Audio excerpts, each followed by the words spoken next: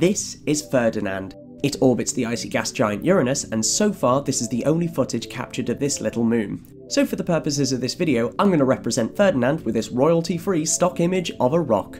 Originally called S2001U2, this moon is not named after a former king of Sicily, a German airship mogul, an assassinated Archduke of Austria, a Scottish indie rock band, or a sentient steam engine used for logging, but it's actually named after the Prince of Naples from William Shakespeare's play The Tempest. This is in keeping with the other moons in the Uranian system, as they are named after various other characters from Shakespeare's expansive works. There are, of course, some exceptions to this. Even though Ferdinand is only 20 kilometers across, it isn't the smallest Uranian moon. That title goes to Cupid with a tiny diameter of 18 kilometers.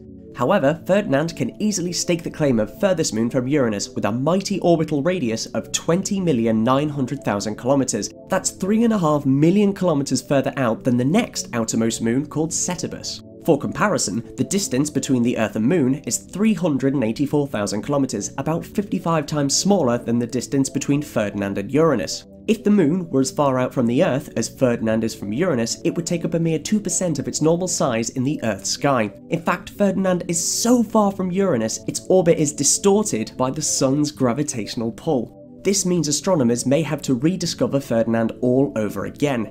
However, this isn't the first time that Ferdinand has been lost and then found again. On the 13th of August 2001, a team led by Matthew J. Holman and Brett J. Gladman spotted an object near Uranus. At the time, they had no idea the object they had just seen was actually captured in Uranus's orbit, and it was subsequently lost. Just over two years later, on August 29, 2003, a team led by Scott S. Sheppard, notorious spotter of moons, were observing the night sky around Uranus and detected two unknown objects. A month later, and Brian Marsden, former longtime director of the Minor Planet Center at Harvard, linked the two observations and proposed that one of the unknown objects was in fact the same object spotted two years earlier by Holman and Gladman's team. In less than a week, Matthew Holman, the original Ferdinand finder, took to the trusty Magellan telescope and thanks to the advice of Marsden, located Ferdinand, rediscovering the outermost Uranian moon.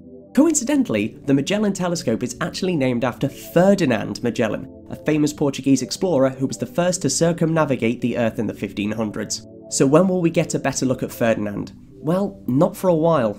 Considering it takes 12 to 15 years to get to Uranus, and there are no plans to launch a probe anytime within the next 13 years, it's going to be at least a quarter of a century before we get an up close encounter with this little moon.